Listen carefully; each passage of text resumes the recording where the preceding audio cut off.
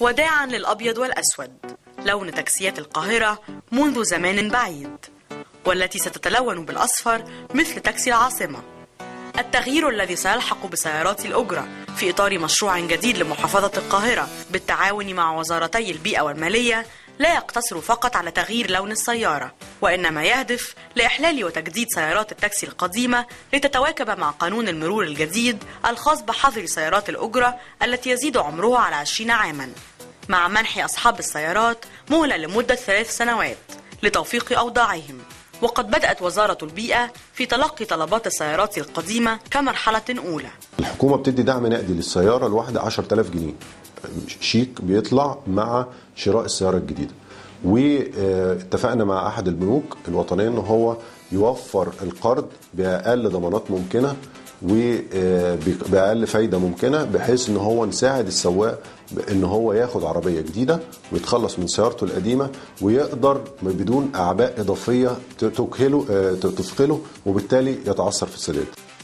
ومن المقرر أن يتم تنفيذ هذا المشروع على ثلاث مراحل لمدة ثلاثة أعوام يتم من خلالها تبديل جميع سيارات التاكسي بأخرى حديثة صفراء. واحد مالك سيارة وهو عايز برضه يحدث التاكسي بتاعه فمش هنحرمه من هذه ال- ال- الميزة فهيغير التاكسي بتاعه باللون الأصفر ولكن هنميزه بعلامة مميزة علشان يتعرف إن ده تاكسي أفراد وليس تاكسي يتبع شركة. لاقى المشروع استحسان بعض سائقي التاكسي. في حين اعترض البعض الآخر خوفا من ضخامة مقدم وقسط التاكسي الجديد. والله كويس بس يراعوا موضوع الاقساط لأن هيكلفوا الناس اقساط كتيرة. يغيروا البنديرة حضرتك والتاكسي زي ما هو لو ماشي 100 100 دخانة ولا حاجة وعربيات نظيفه جدا جدا والله. ده أفضل للزبون وأفضل لينا في الوقت نفسه. واخدة بالك على أساس إن الجو حر واخدة بالك وفي الوقت نفسه كل العربيات الغير مكيفة مشكلة. ديت 75 بس حالتها ما شاء الله كويسة. فصدقت خلاص الدين القديم هخش في دين جديد. موضوع القسط ده بس اللي شوية ما نعرفش بيقولوا ممكن يبقى 600 يبقى 700 فأنت عارفه اليومين دول الشغل على قده. مشروع كويس بس هيوقف حالنا. لا أبدل إيه؟ عربية لسه جديدة أبدل فيها إيه؟ أنا عندي عربية قسطتها وجبتها واشتريتها وكيشتها وتعبت فيها. إزاي تتاخد مني يعني. مش هيلاقيك موضوع القسط مثلا لو في قسط؟ لا لا مش ايدي ولا أي حاجة كل حاجة لها رزق. يعني أنا شاري العربية دي 80000 دفعت 40 وعليا 40 لما ياخدوها هيدونا عربية ثانية جديدة وادفع قسط. مش عارف يعني.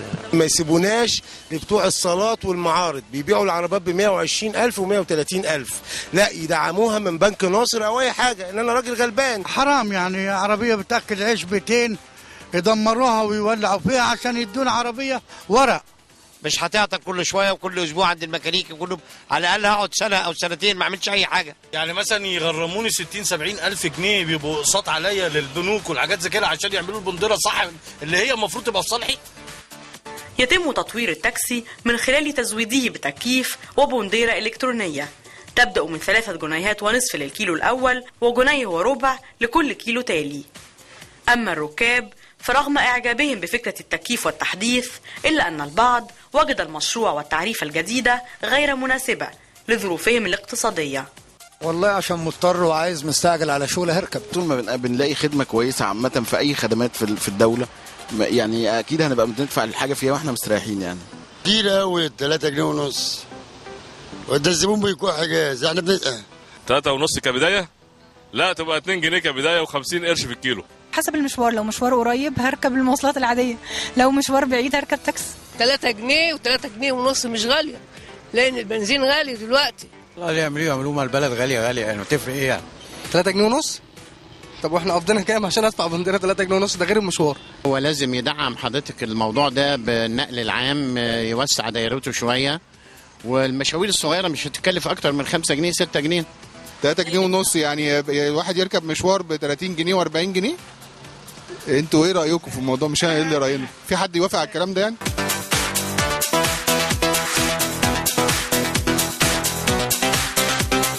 النظر عن لون التاكسي أبيض في أسود أو أصفر بتكييف أو بدون تكييف فالمهم في النهاية مراعاة الظروف الاقتصادية للسائق الذي قد لا يستطيع دفع قسط التاكسي الجديد وللراكب الذي قد يكون ليس لديه القدرة على دفع هذه التعريفة.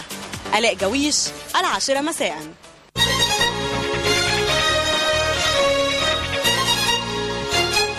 بغض النظر عن الفكرة وعن تطبيقها ليه دايما بنسيب ال- الكائن الأصلي أو الحصان ونمسك في البردعة؟ بمعنى أدق آه، حل مشكلة آه، النقل يبدأ من النقل العام. في أي بلد في الدنيا المفروض أن المواطن من حقه نقل عام آدمي ومريح و- ويحترم كرامته. للأسف ده مش متوفر. فالناس بتضطر تركب آه، تاكسيات. التاكسيات أساسا أحوالها زي ما باين في التقرير وزي ما حضراتكم عارفين أقل من المطلوب. يعني الأول نحل مشكلة النقل العام اللي. اللي هتساهم في... حل مجموعة من المشاكل على رأسها الزحام وعلى رأسها آه، آه، تحكم أصحاب التاكسيات في, ال... في الركاب. يعني ليه ما حدش بيبص لمنظومة النقل العام؟ اللي عايزة تتعاد وتتشكل من أول وجديد. يعني عايزة تتنسف وتبتدي من أول وجديد على وزن يعني انسف حمامك القديم. على كل في تفكير في تغيير التاكسي على النمط اللي حضراتكم شفتوه. آه، في مصر الجديدة آه، دايما مصر الجديدة بيبقى فيها كده لفتات آه، جديدة. بمعنى إنه من أكتر من سنة ابتدت في مناسبات وفي بعض المهرجانات يقوموا يقفلوا بعض الشوارع الرئيسية في مصر الجديدة ويحولوها لشوارع للمشاة. وكانت بتلقى ترحيب كبير جدا. الموضوع بقى منتظم. يعني كل يوم جمعة منطقة الكربه شارع بغداد يتقفل ويبقى للمشاة وفقط. والمشاة آه، غالبا أبدعوا في هذا الشارع عندما أغلق عليهم ولم. آه، آه، ولم يبقى أو يتبقى أي مركبة تمشي فيه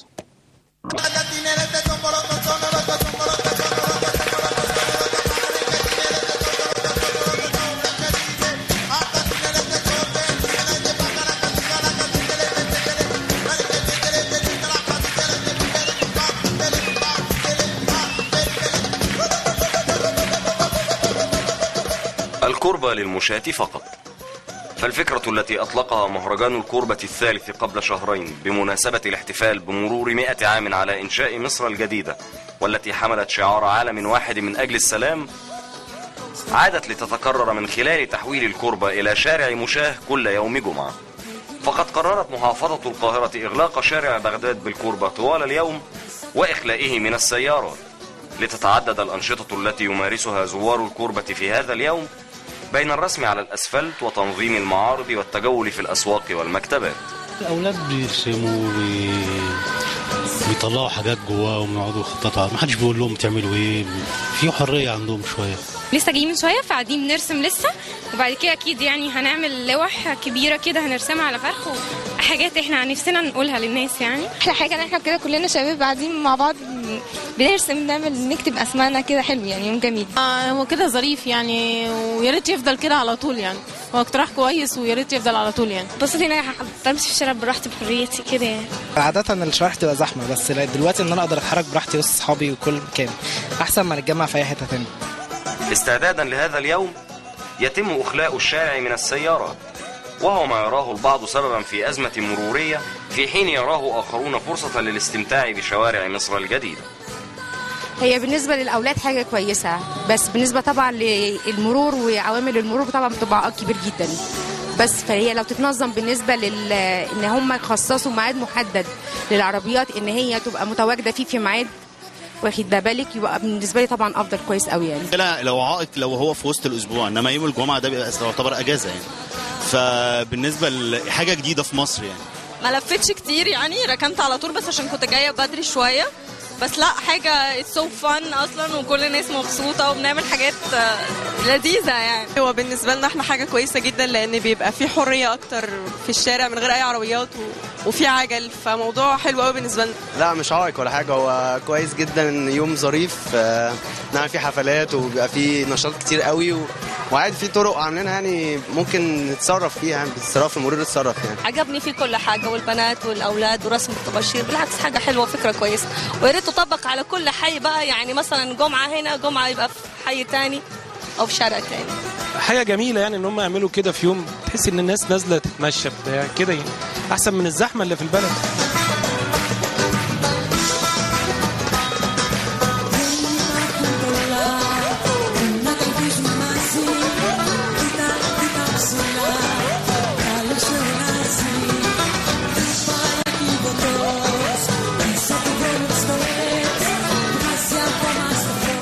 تحويل الكربة إلى شارع مشاه ولو ليوم واحد فكرة يراها الكثيرون تستحق التقليد في كثير من شوارع وأحياء مصر.